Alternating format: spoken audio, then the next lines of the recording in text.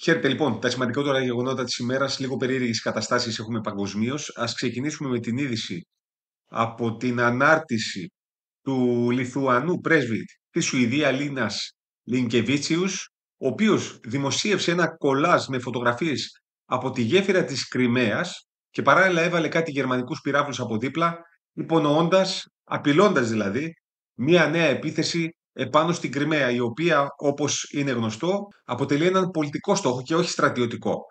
Από κάτω έγραψε ακριβώς από το κολλάζ, αν κάποιος δεν είχε την ευκαιρία να τραβήξει φωτογραφία τη γέφυρα της Κρυμαίας, προλαβαίνετε. Ξεκάθαρη απειλή από τον Λιθουανό. Το θέμα είναι πως οι Λιθουανοί, εχθές σας το ανέφερα αυτό, τα είδηση, έχουν ξεκινήσει τις επιθέσεις με μη επανδρομένα αεροσκάφη μέσα τη Λευκορωσία. Δηλαδή ψάχνουν τρόπο να σύρουν στον πόλεμο και τη Λευκορωσία μία ώρα αρχίτερα.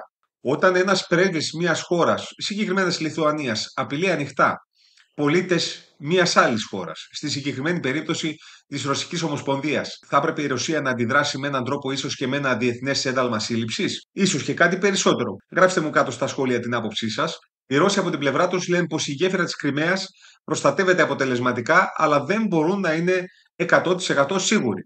Η εταιρεία κατασκευής των μαχητικών και αντιεροπορικών συστημάτων της Ρωσίας πιστεύει πως δεν θα μπορέσει να γίνει επιτυχής μία νέα επίθεση. Πέρα από την ε, απειλή του Λιθουανού πρέσβη στην Σουηδία, η εφημερίδα Guardian, επικαλούμενη πηγές του Ουκρανικού Υπουργείου Άμυνας, είχε τονίσει ότι το κύριο τμήμα πληροφοριών του Ουκρανικού στρατιωτικού τμήματος ετοίμαζε μία νέα επίθεση στην γέφυρα της Κρυμαίας. Το χρονοδιάγραμμα της επιθέσεως ήταν μέσα στο πρώτο εξάμεινο του 2024 και είναι ακόμη, διότι δεν το έχουμε περάσει. Στο Ισραήλ έχουμε ένα περίεργο πολιτικό παιχνιδάκι, το οποίο ίσως και να επηρεάσει την ροή του πολέμου στην περιοχή, καθώς ο Πρωθυπουργός τους και άλλοι ανώτεροι αξιωματούχοι της κυβέρνησης φοβούνται πως θα εκδοθεί ένταλμα σύλληψης εναντίον τους την ερχόμενη εβδομάδα. Φυσικά κάτι γνωρίζουν για να το λένε.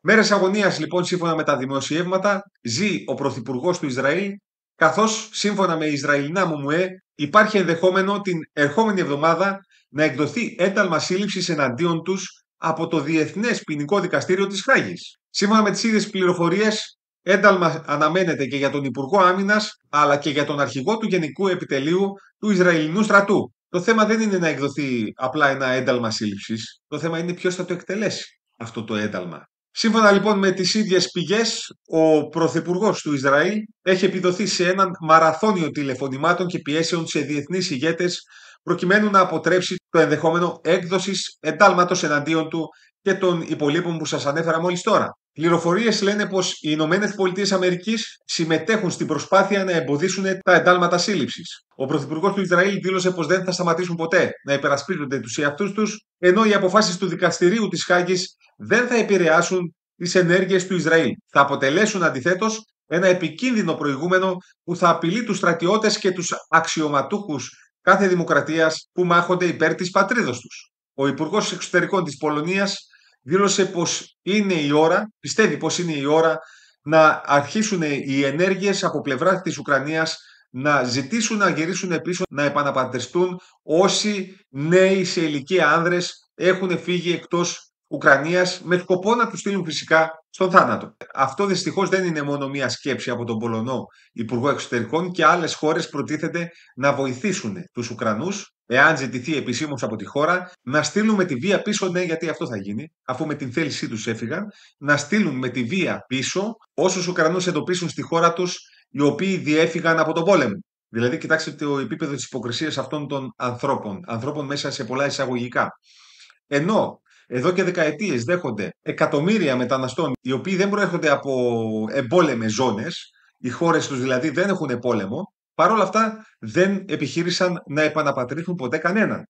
Τώρα όμως που Ουκρανοί ζητούν άσυλο στη χώρα τους για να καταφέρουν να επιζήσουν από τον εμφύλιο που έχουν στήσει οι Νατοικοί στην περιοχή τους, τώρα ξαφνικά τους έπιασε ο καημός να στείλουν πίσω με τη βία τους Ουκρανούς που πραγματικά έχουν πόλεμο μέσα στη χώρα τους και μιλάμε για σκληρό πόλεμο. Το λιγότερο που μπορώ να τους χαρακτηρίσω είναι υποκριτές. Μαζί με αυτό θα έλεγα ότι είναι και σκουπίδια, δεν είναι άνθρωποι αυτοί. Θα ήθελα να μου πείτε κι εσείς πώς θα τους χαρακτηρίζετε αυτούς οι οποίοι σκέφτονται να πράξουν κάτι τέτοιο. Και πάμε σε δύο πολύ σημαντικές ειδήσεις, οι οποίες, να ξέρετε, θα μας επηρεάσουν, διότι όπως είναι γνωστό, ό,τι συμβαίνει έξω, μετά από λίγο έρχεται και στη χώρα μας. Η πρώτη έχει να κάνει με την είδηση από την Αγγλία πως άνοιξε, ανοίγει βασικά τις επόμενες ημέρες, το πρώτο παγκόσμιο δικαστήριο στο Λονδίνο. Αλλά παγκόσμιο δικαστήριο όπου θα δικάζουν σύμφωνα με τον νόμο της Αγγλίας. Δηλαδή πέρα από το εγχώριο βρετανικό δίκαιο, επί της ουσίας εισάγουν ένα ξενόφερτο όπου ο νόμος της Αρίας, αν δεν κάνω λάθος, διορθώστε με κάτω στα σχόλια, δεν έχει να κάνει με κάποιο ποινικό δίκαιο. Είναι ξεκάθαρα ένας θρησκευτικό νόμος. Άρα επί της ουσίας ανοίγει ένα παγκόσμιο δικαστήριο μέσα στην Ευρώπη, όπου θα δικάζουν σύμφωνα με τους νόμους και τα έθιμα των μουσουλμάνων. Αυτό εδώ, θυμηθείτε το, εάν δεν βάλουμε μυαλό, θα το δούμε πολύ σύντομα και μέσα στη χώρα μας. Έχουμε γεμίσει από αυτούς. Λοιπόν, πάμε σε πολύ επικίνδυνες καταστάσεις. Βλέπετε ότι πάμε από το κακό στο χειρότερο και να σας μεταφέρω και την τελευταία είδηση όπου έρχεται από την Κίνα. Ο Κινέζος λοιπόν πρόεδρος προσέλαβε 87.000 αστυνομικούς οι οποίοι θα ασχολούνται μόνο με αγροτική αστυνόμευση και το καθήκον των οποίων έχει να κάνει με την αστυνόμευση του είδους των καλλιεργειών που θα βάζουν οι αγρότες που θα φυτεύουν σε ολόκληρη τη χώρα τους. Ο λόγος λοιπόν είναι για να μην επιτρέψουν σε κανέναν να καλλιεργήσει τίποτε διαφορετικό από αυτό που θα εγκρίνει η κυβέρνηση της Κίνας. Με λίγα λόγια, όταν θα το δούμε αυτό αύριο μεθαύριο, ίσως και σε κάποιες ευρωπαϊκές χώρες, Ποιος ξέρει, ίσως το δούμε και στη χώρα μας. Πέρα από την προώθηση της εντομοφαγίας που βλέπουμε το τελευταίο χρονικό διάστημα παντού, όσοι λοιπόν θα αποφύγουν την εντομοφαγία θα τρώνε αποκλειστικά φυτά και φρούτα τα οποία θα έχουν την σφραγίδα της κυβέρνησης. Τι μπορεί να σημαίνει κάτι τέτοιο; Το πιο πιθανό είναι πως όλα, μα όλα, τα οποία θα έχουμε πάνω στο τραπέζι μας θα είναι από επικίνδυνα έως και μεταλλαγμένα. Δηλαδή από επικίνδυνα έως πολύ επικίνδυνα. Θα ήθελα να διαβάσω και τις δικές σας απόψεις κάτω στα σχόλια, ειδικά σχετικά με τις ε, τελευταίες δύο ειδήσεις. Αυτά τα λίγα για σήμερα. Σας ευχαριστώ πολύ. Καλή δύναμη σε όλους.